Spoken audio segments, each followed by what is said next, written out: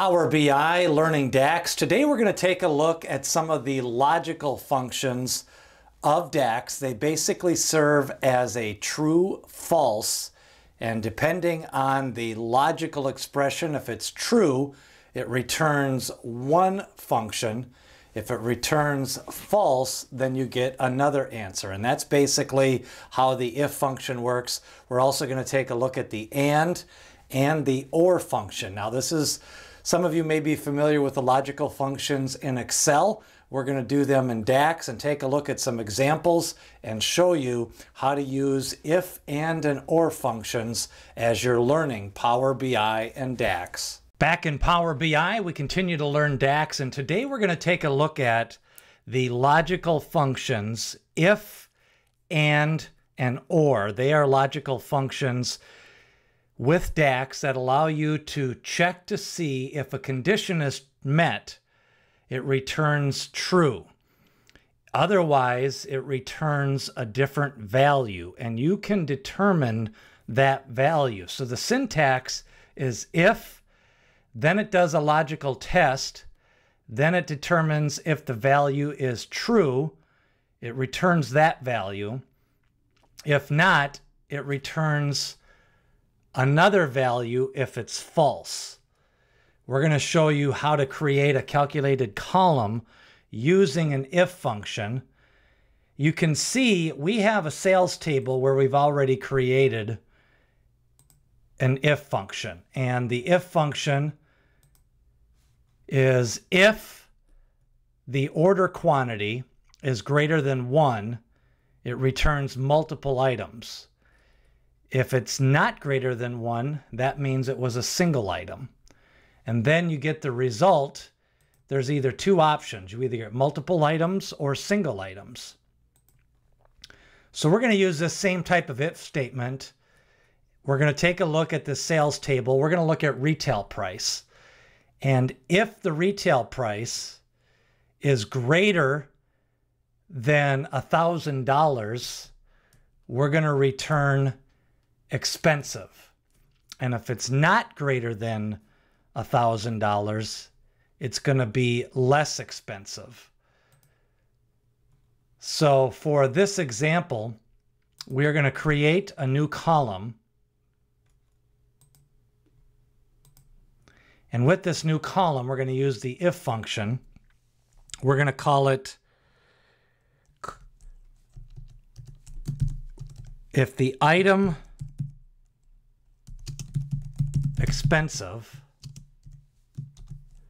It's going to equal if, and the logical test is going to be the retail price, sales data retail price. If it's greater than 999.99, then we want the result if true. If you follow the IntelliSense, we want expensive.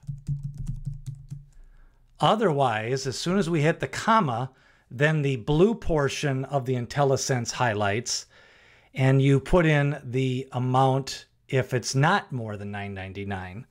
So least expensive.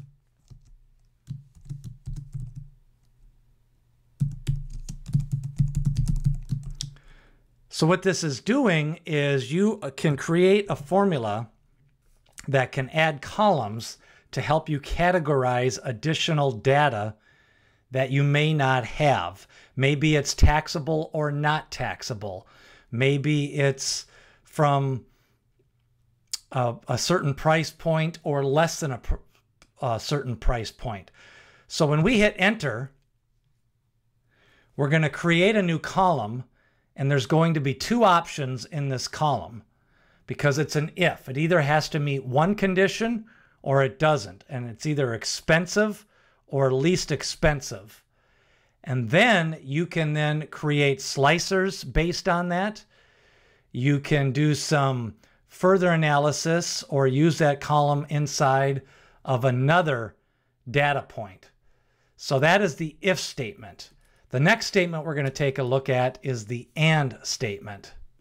The next logical function is the AND function. Now, the if function, it is either true or false, and it returns one number item if it's an true, and then another result if it's false. Now, the AND, it determines whether both arguments are true and returns true. If not, they are false. And a lot of times you use this with an if statement. So we're going to create an if statement that checks territory number nine, which is Australia. And we have a total of 10 different territories. And if the order quantity is one, then we want it to be single Australia orders. So that's what we're going to call this. But both of those statements have to be true. So when we go to the new column, we're going to call this single Australia. And the syntax is going to be if, then and. We're using this wrapped into one another. So both statements need to be true. So the if and logical one is territory key, sales territory key is equal to 9 if that is equal to 9 and the order quantity is equal to 1, that's the logical functions. So now we've got that written out. Then that's the logical test. If the result is true, Australia single. If it's not true, if either one of those is false, not Australia. And you need to put this in parentheses for text for the results.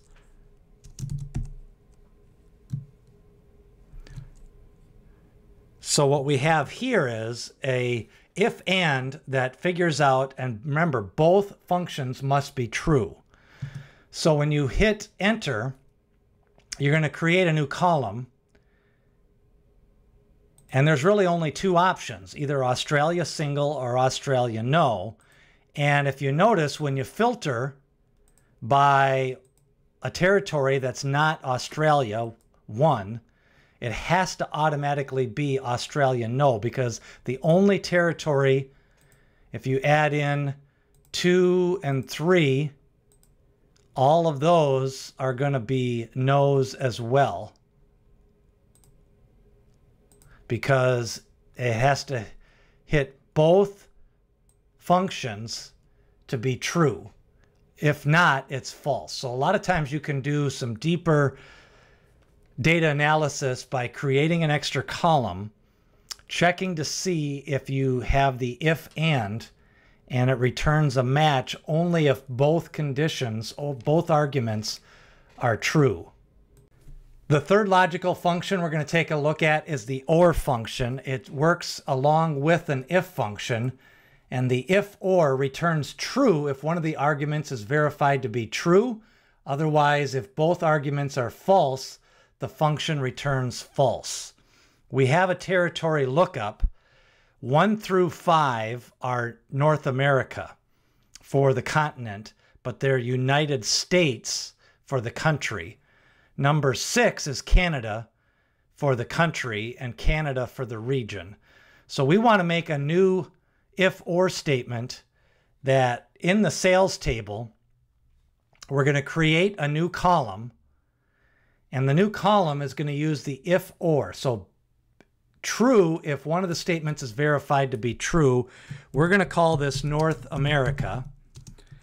And the syntax is going to be if and or. Then we're going to work on the logical test. And the logical test is territory key and sales data. If it's less than six, then that is the first half of the logical test. Then the next logical test, number two, is the same territory key. If it's equal to 6, which is Canada, then we're going to close that out and the logical test part is completed. Now we go to the results if true. We're going to go with North America. So 1 through 5 are less than 6. That will be the false statement. And if it's 6, it's equal to Canada. Otherwise, we're going to name it world and put that in parentheses. So now we have, if it's less than 6, it's going to be North America. If it's equal to 6, it's going to be North America. And if either one of those are true, then it's going to go to the world. So now we create a new column and we have two results. If we go to the territory key is equal to 9, that is it less than 6? No. So if it's false, it automatically goes to the world. If it's equal to 6, then it still continues to be true and that would be North America. So that is using the if or function. And logical functions work. You can combine them if or, if and. You can use an if function all by itself. But you're probably going to want to learn your logical functions early on in DAX because it can help you create additional data columns and with that data, you can start to filter, use it in slicers, and use some of the different functions in Power BI.